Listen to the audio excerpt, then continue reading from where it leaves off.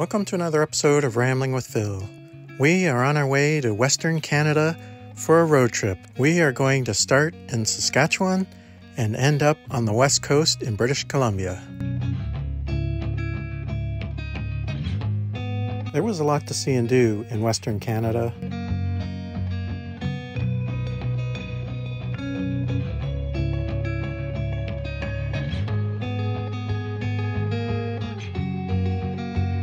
We actually saw a bison up close. Went shopping at the largest mall in the world.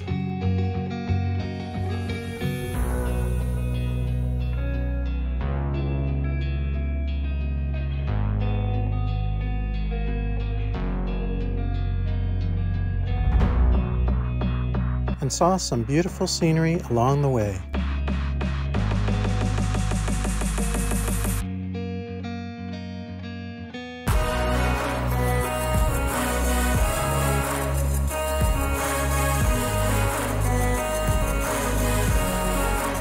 We even had tea at Chateau Lake Louise.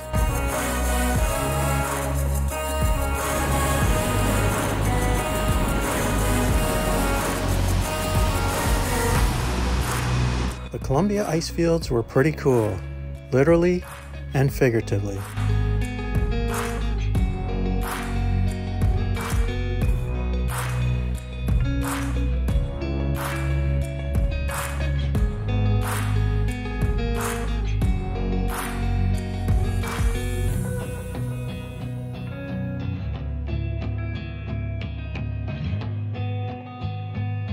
We also took a ferry over to Vancouver Island.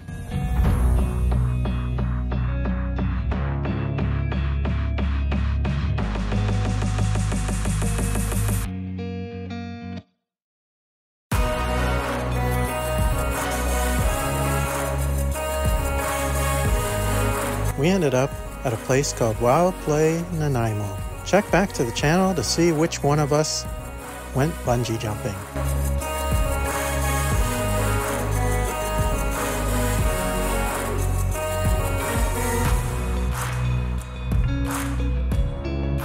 While in Canada, we also had a chance to have dim sum in Saskatoon and in Vancouver.